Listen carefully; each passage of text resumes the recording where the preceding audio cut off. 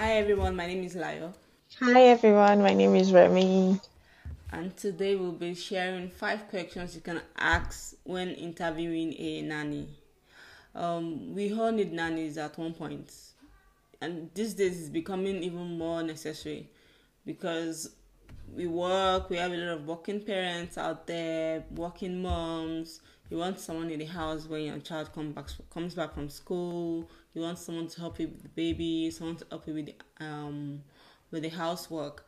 And then it's very, very stressful bringing someone in to help you with all, um, bringing a total stranger into your house and it's stressful because then you don't know what to especially if it's the first time trying to get someone you don't know what kind of questions you need to ask them and i can tell you i've been through a couple and remmy has been through a couple of house help and it took a while before we could like find the right one so from our experience we decided to um, compile this five list of questions that we ask our nanny and we hope it can help you so yeah the first on the list is previous work experience.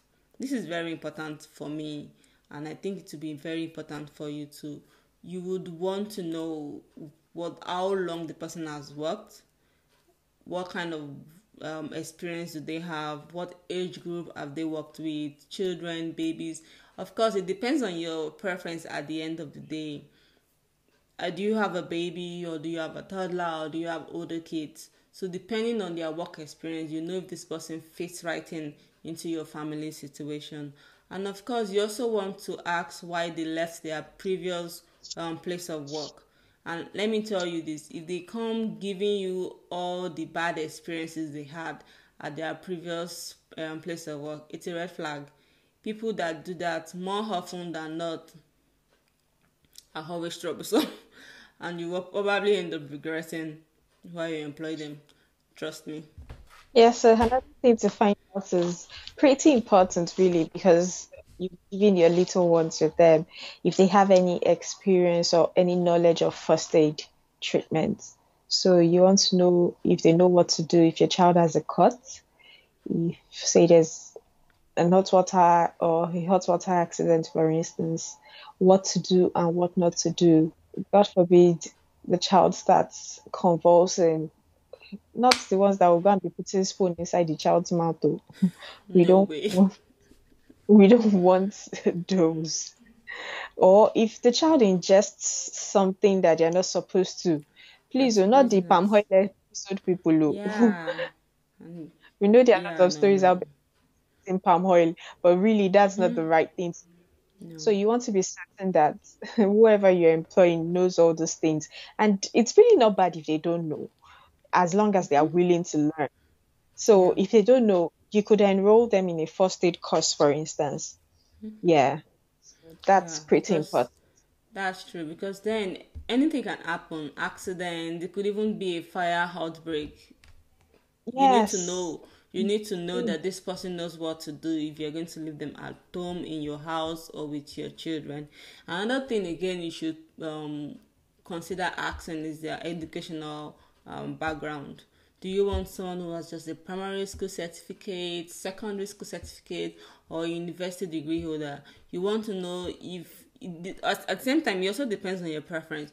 Do you want someone that's just there to do the nanny work, take care of my kids, and clean the house, or do you want someone that will, that would also help with homeworks, help my children with homework after school, tutor them? So yeah, that depends. Do you want someone that speaks English, someone that could speak proper English with your kids, or you're okay with someone that speaks pidgin English or whatever language it is they speak?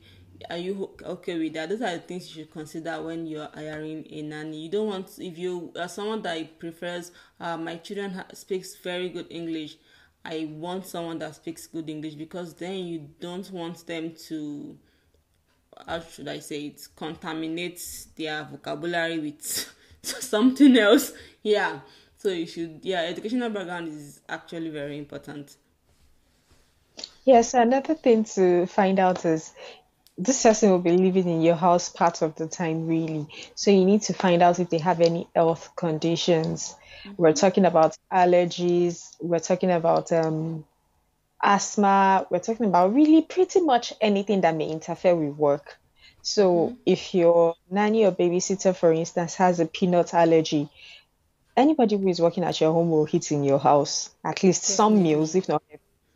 Yeah, mm-hmm. so they have a peanut allergy, for instance, you will already know that that groundnut soup that you made, your nanny cannot have out no of way. it. exactly. If you have, have you ever heard of anybody having fish allergies? yeah, but some really, people do. Um, seafood yes, allergies. Exactly. So if you know what what stuff they're allergic to, you know you can prevent major incidents from happening. Mm-hmm. If asthma, they have an asthma attack, you already know okay, it's an inhaler I'm getting. And mm-hmm. yes, that pretty much helps both of you to work better. Yeah, and of course you could do your own um medical checkups when you're eventually employing them. Of course, we know the basic hepatitis A, B, HIV. Yeah, tuberculosis. Pregnancy, if you are okay with hiring someone who's pregnant into your house. Yeah. Yeah. Okay. And then, so our final on the list commitment to work. You want to know if this person is committed to work with you. You don't want to be introducing several people to your children like four five nannies in one month or two months because they just keep leaving or you guys keep having issues. No you don't want to know that. You you don't want that excuse me. You want to ask them why are you working as a nanny? Am i are you just is this just in between work for you waiting for your greener pasture? You're just yeah because you don't just want to stay at home. You need money.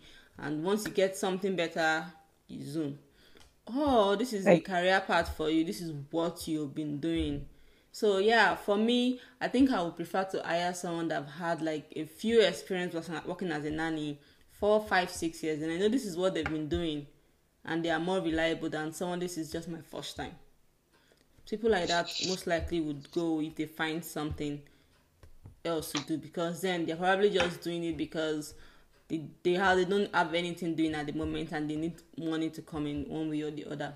So that's what you should ask. They also need another thing you need to know is is this person um single? Is this person married? If they are single where do they stay? Do they stay very far from me? Do they stay very close from me? Will traffic be a problem?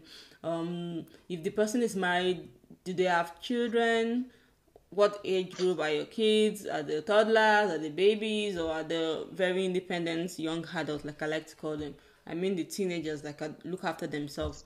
Yeah, because then if your nanny has a toddler or has a little boy of one year old, then you know that anything can happen. Because you yourself, you're a parent, you understand how it is when you have like very little ones in the house. Anything can happen. So can you handle that? That if my nanny calls me today and say, "Oh, my son is running temperature," or one thing, one thing is, of course, there will there will always be instances whereby they have to be unavailable due to unforeseen circumstances. But then you don't want it to be very often. But then when you have a toddler, you know those unforeseen circumstances are usually very often. You know how it is when we when we have kids. So yeah, these are the things you want to put into consideration when you're hiring in, and these are the questions you need to ask. You want to know if this person is committed um, to work with you. So yeah, those are the five questions we have for you today. The first one, like I said, previous work experience. Second one is first aid knowledge. Then, of course, you want to know what educational background they have. And then you have to know if they have any health conditions.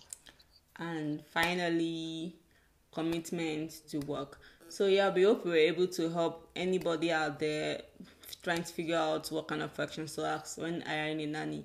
If you have any other question you've asked and you think they actually um, are very important, please share with us in our DM.